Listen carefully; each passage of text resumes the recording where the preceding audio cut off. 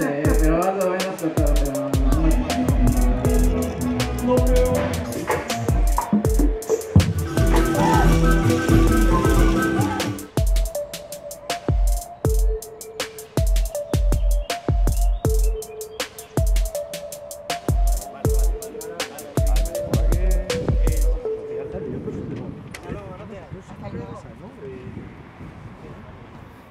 Con este ayuntamiento no hemos podido llegar a, un consenso que se hacía normalmente en, la, en las mesas de San Fermín, donde se discutían las partes y se proponían y llegábamos a un consenso. En los dos años anteriores, 2017 al 2019, venimos realizando un trabajo social relevante para la organización y el encuentro en el espacio de Antonetti, demostrando la puesta en valor de la diversidad cultural de Pamplona en las fiestas de San Fermín y que seguimos insistiendo en que sea parte referencial en esta fiesta de categoría mundial, tomando en cuenta la relevancia de la generación de espacios que faciliten la integración, cooperación y difusión cultural de la diversidad como elemento integrador social en la ciudad de Pamplona. Hemos trabajado con mucho empeño, dedicación, asumiendo el reto que representa el importe económico con el que no contamos muchos de los colectivos que nos hemos comprometido en esta tarea con el fin de visibilizar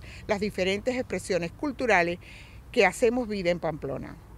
por lo cual consideramos que los espacios de sesión de la diversidad cultural deben ser gestionados por un comité organizador de fiestas, dirigido por los grupos propuestos para gestionar la administración y desarrollo de la actividad de este espacio, que garantice el buen funcionamiento del mismo, así como el buen desarrollo de las actividades en el marco de la fiesta de San Fermín. Esta legislatura no, no consensa es prioridad o digamos es potestad del ayuntamiento designar o quitar. Y ellos designan, ellos se lo compran, se lo guisan, se lo comen y se, se recogen el vuelto. Es decir, no toman en cuenta al pueblo, como dice, unos Sanfermines para el pueblo pero sin pueblo.